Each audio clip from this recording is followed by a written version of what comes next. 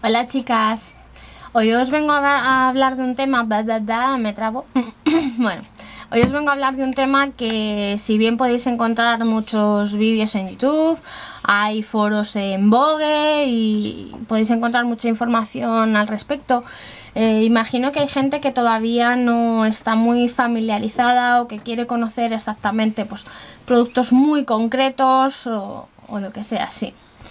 Os hablo de las siliconas, sobre todo las siliconas en los champús. Lo que primero tendríamos que, hacer es distinguir entre los tipos de siliconas que hay, porque no todas son tan terribles.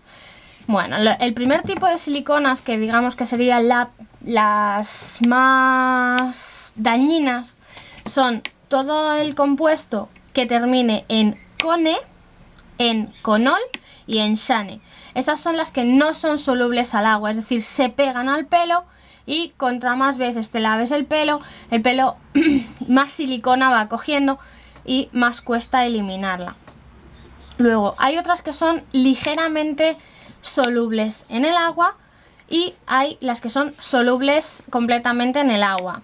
Hay eh, normalmente las que son solubles en el agua son las que empiezan por PEG, PEG suelen ir acompañadas detrás de un número para indicar qué tipo de silicona es, pero bueno, esas al fin y al cabo, al ser solubles en el agua, en el momento que el pelo se moja o a, través de los peinados, esa silicona se va yendo. Bien.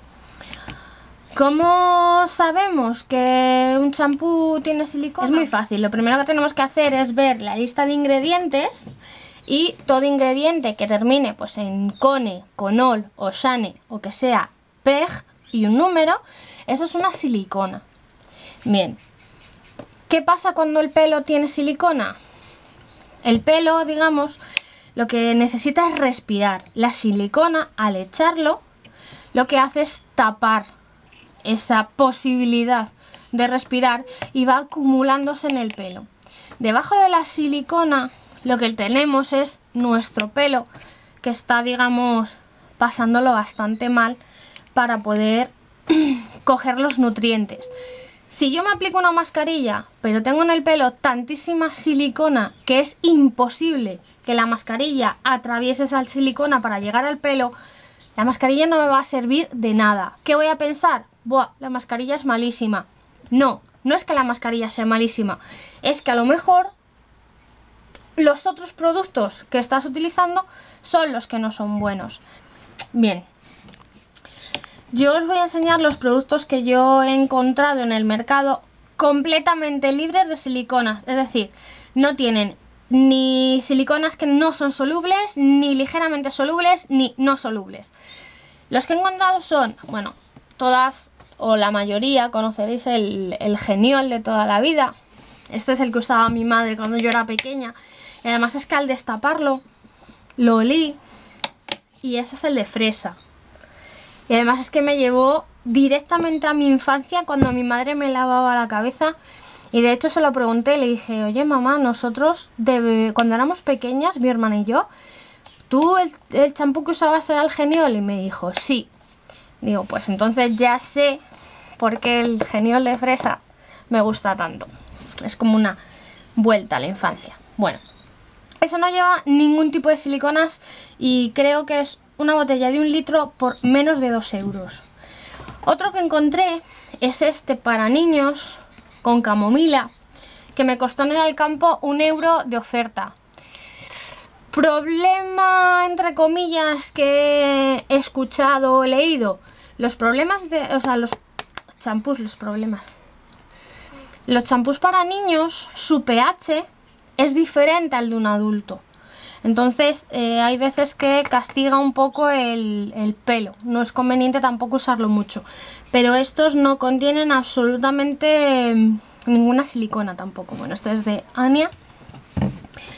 Bien, eh, todas conocéis por supuestísimo lo que tengo en la mano. Sí, es un champú de Lash. Este es el de como nuevo y el que yo estoy usando ahora es el Fairy. Tengo otros. Tengo, por ejemplo, un trocito de cocomanía, de a lo mejor de regalos que he ido haciendo. y me han dado un pedacito para probarlo. Entonces tengo el Cocomanía y tengo el Resplandor. Resplandor no lo he utilizado todavía. Y tengo también un pedacito chiquitín de Godiva. Pero bueno, esos todavía no los he usado. Eh, solo he usado el Fairy y la verdad es que bastante bien. Bueno, entonces, los champús por un lado. Pero claro, ¿qué pasa con suavizantes, acondicionadores, etcétera? Bien, Lash tiene lo que es el Jungle, que es acondicionador solo. Godiva tiene champú, o sea, trocitos de champú y trocitos de acondicionador. Entonces ese también os valdría como acondicionador. Pero bueno, si queréis el champú por un lado y el acondicionador por otro, Lash tiene el Jungle. Eso es en sólido.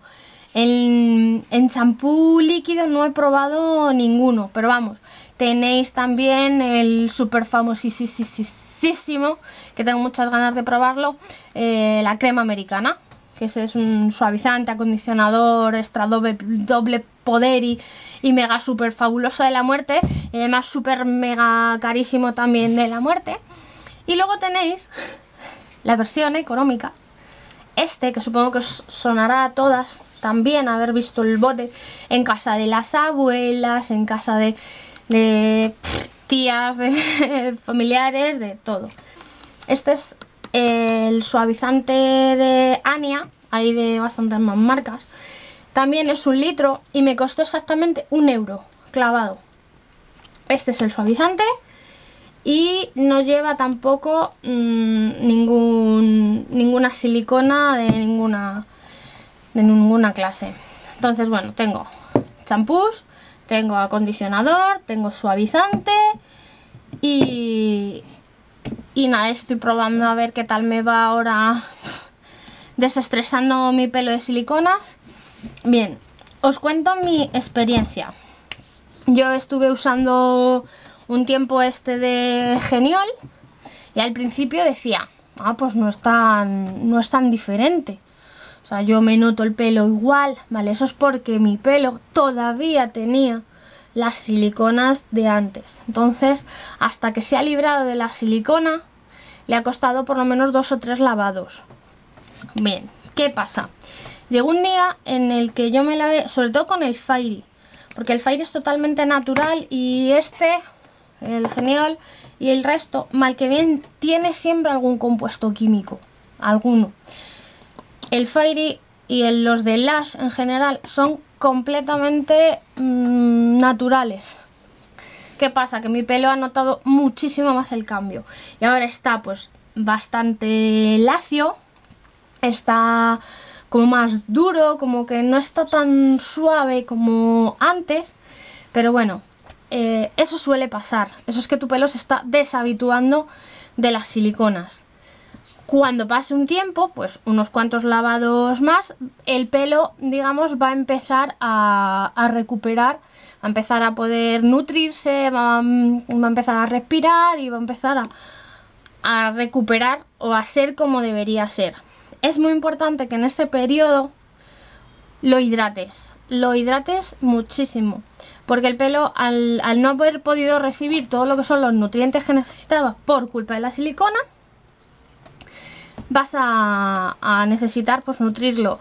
Mm, os recomendaré, si puedo, os pondré abajo alguna mascarilla natural que vaya para cada tipo para cada tipo de pelo o bien os pondré un enlace a mi blog porque allí sí que tengo sí que tengo algunas y si no directamente si queréis alguna en concreto pues me escribís un, mensajito y yo, y os lo os comento la receta y, y ya me comentaréis si la probáis qué tal os ha ido. Entonces, bueno, espero que el vídeo no se haya hecho eterno y muchos besitos. Chao.